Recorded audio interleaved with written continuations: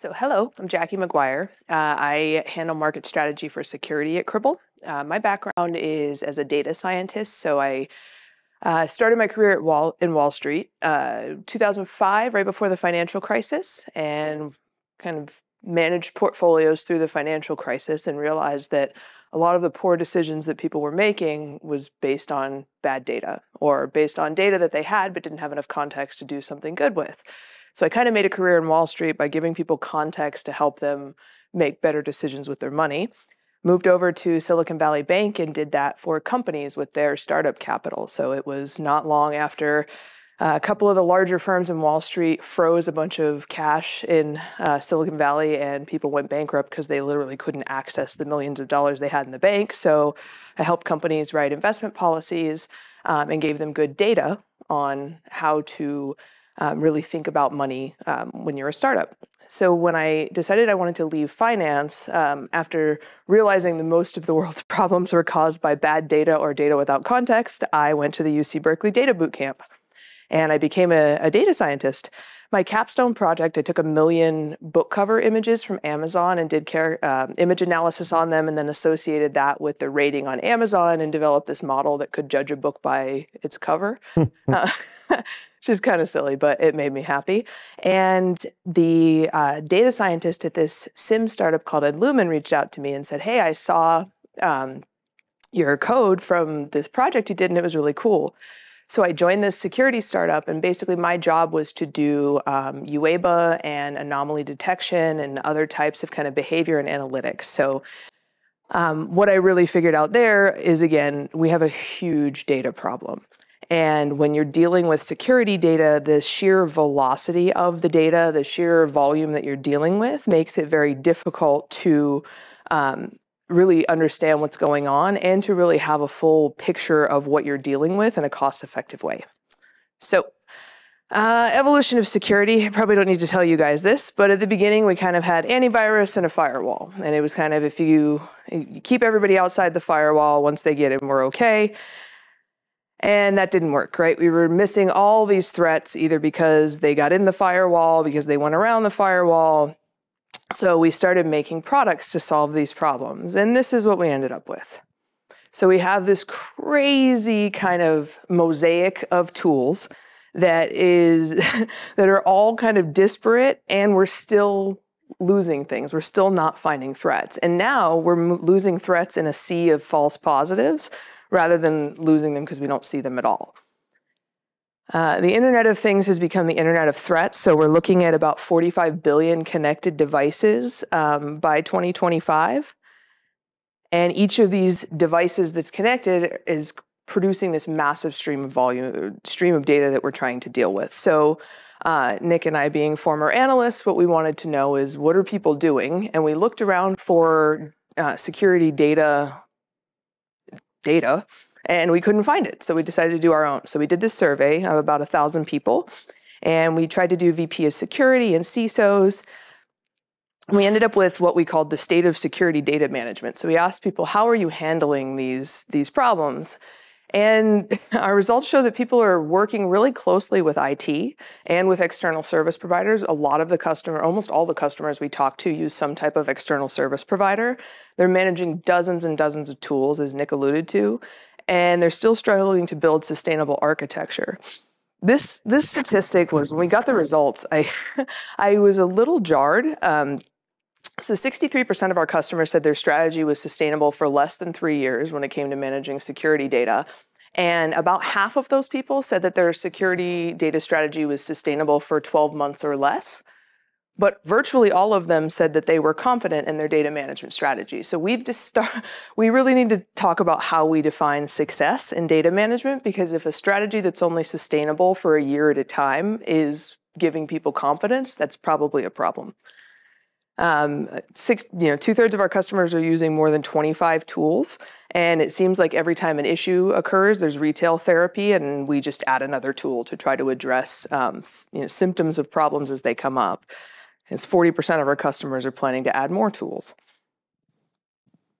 Um, here's another one that was one of the bright spots in um, our data, which is that I have always had this probably preconceived notion that security and IT don't always play well together. Sometimes we compete for budget, sometimes we compete for data.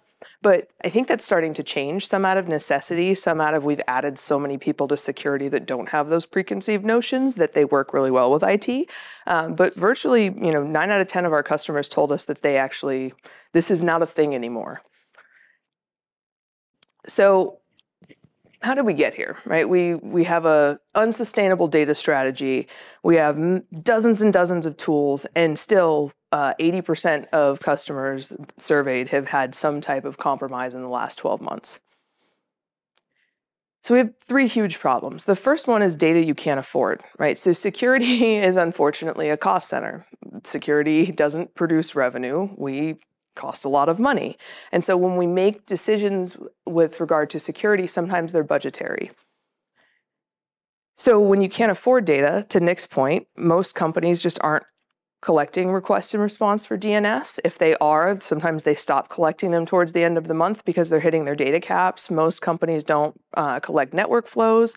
Talked to a university a couple weeks ago who wasn't collecting any of their web requests when that's their single largest attack surface. Um, so we're making a lot of compromises with our data because we can't afford it. And there's also this really interesting thing that's happening where because a lot of the data is noisy, we're using really inefficient means to handle the noise in that data. So I know we all love regex and get up first thing in the morning just dying to write regex expressions. I personally forget it literally the second I stop using it and every time have to look up how to write them again. Um, regex doesn't just suck to use, it's also extremely inefficient from a code perspective. And as a data scientist, I might not think it's a big deal to handle a syslog thing coming in with regex because I'm running the code once. But when you start running that on millions of logs coming through every day, the bloat associated with handling some of these issues in line causes ripple effects. Um, when I was a data scientist, I was training a neural network for UEBA, and I hit a button, went to lunch, came back, and had run up a $75,000 AWS bill because I forgot to limit the number of JSON uh, dictionaries I returned. And I think the interesting thing with cloud computing is they, it's been presented as, you know, it's this wonderfully endlessly scalable solution, which is true, but that has also removed most engineers from the server impact of their actions. So I think we need to think about when we create inefficient code, when we're not handling data correctly, that that has pretty far-reaching implications that we're just starting to kind of be able to put a price tag on.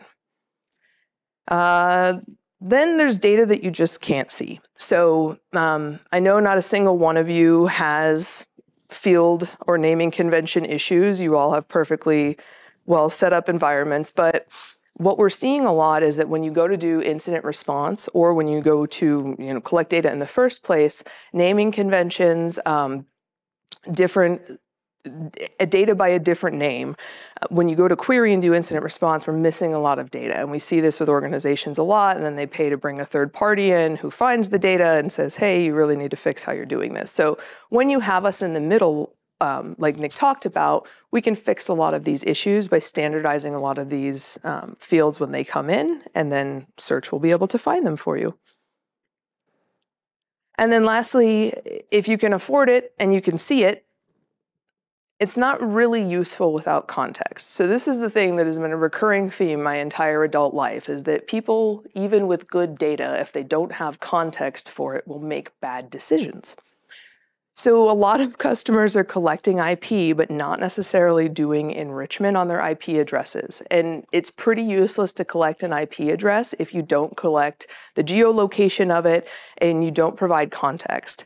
Um, another thing I see pretty frequently is uh, timestamp issues. So a lot, not that any firewall ever misconfigures timestamps, but this log is actually from October 22nd, 2020. And we don't know if that was this is actually from two years ago, or if the log is actually just getting incorrect timestamps coming through.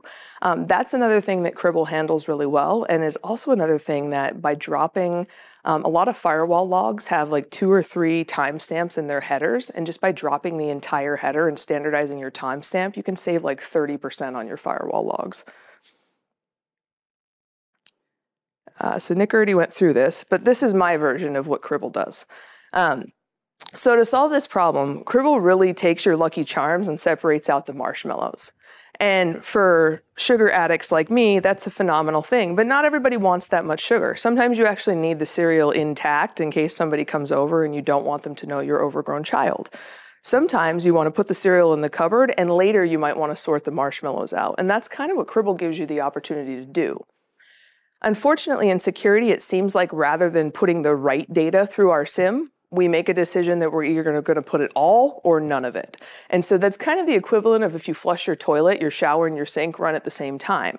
What Cribl allows you to do is take the right kinds of data and put them through the very expensive analytics tools that you're using, and then take full data if you need it for retention purposes, if you're a highly regulated business, or if you just want it for incident response and investigation, and put it somewhere that's a lot less expensive to store, like a data lake. And then again, Cribl Stream will allow you, if you at some point shoved a bunch of that data into your data lake and say we actually want to put that through more robust processing, we want to put it through a new analytics tool, we need to do uh, investigation or incident response, Cribl will also allow you to pull it back out of object storage and do some of that more costly processing if necessary. But the concept here is put the right data in the right places and don't pay to process data that you're not actually getting any value out of.